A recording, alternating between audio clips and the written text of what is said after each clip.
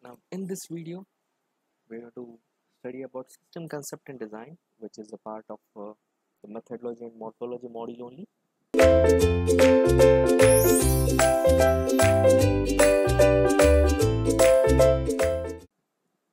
Now what is meaning of a system concept and design?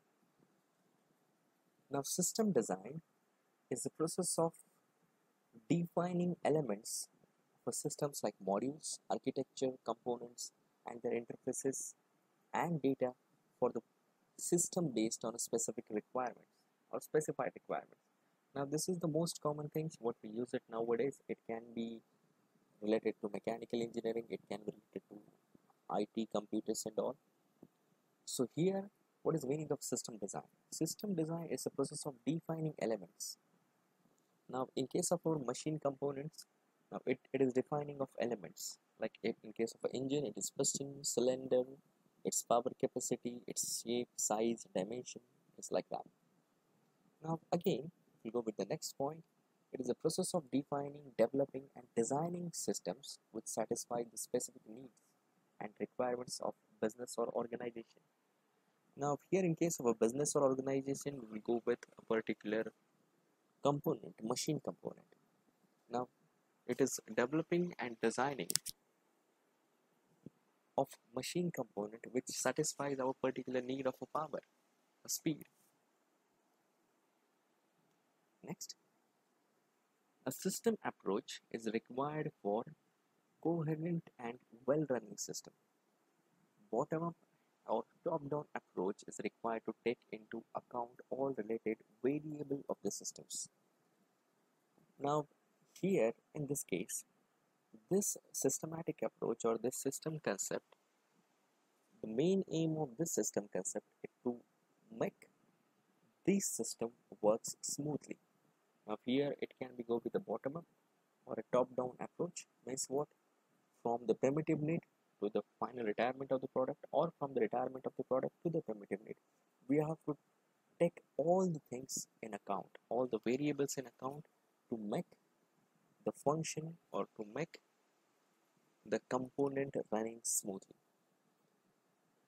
Next point we have it that designer uses the modeling language to express the information and knowledge in the structure of the system that is defined by a consistent set of rules and definitions.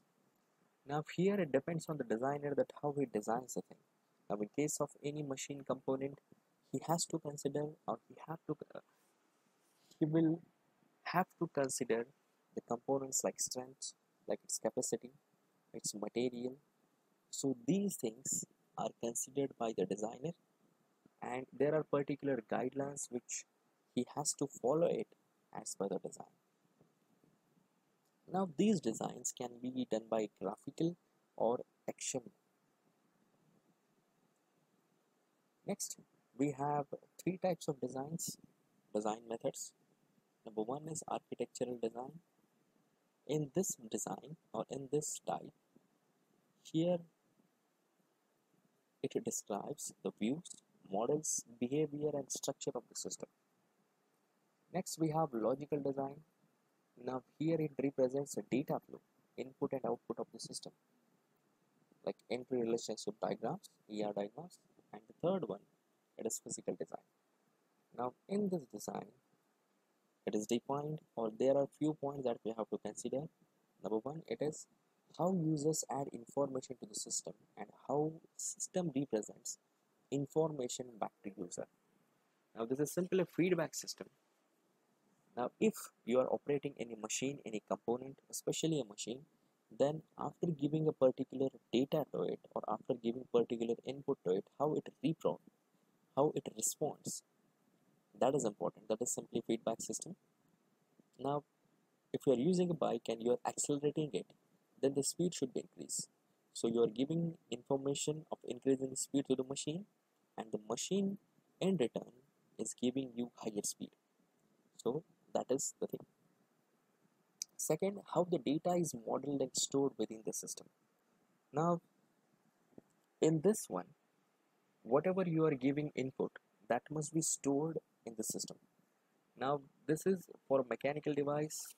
It is like in case of a bike, if we simply check it that it never stores it. But in case of few mechatronics or the combination of electronics and mechanical it stores the data. Now here you can take example of four wheeler now in four wheeler we have a one distance measured indicator.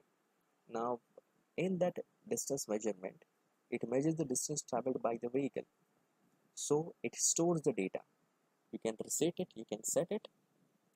So once you will set it it stores the data that how much kilometers you have traveled. Similarly in case of a two-wheeler also we have particular distance or kilometer indicator which indicates that how much time or sorry how much distance you have covered whenever you use this. Third one how data moves through the system and how data is validated secured and transformed as it flows through and out of the system. Now here in this point we discuss about the validation. Now whatever it is indicating the distance which is indicated by indicator distance indicator whether that is valid one whether it is working fine whether it is storing properly so that is done in this process that is data validation. That is checked by the maintenance team or that is checked by the first design team and if there is a problem then it will be recovered by the maintenance team. So this is the end of this video. Thank you